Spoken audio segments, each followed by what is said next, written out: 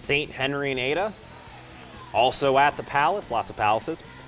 St. Henry, Ethan Tiemann with a three, starting off strong. Here's Caden Niekamp.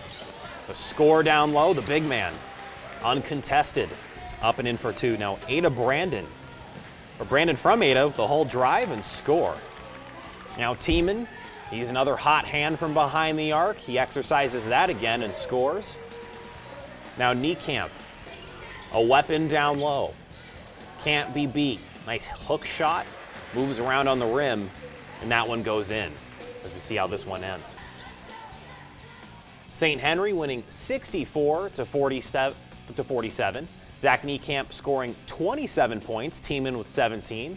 Lots of threes for him, and Caden Niekamp 11 and 15. So Phil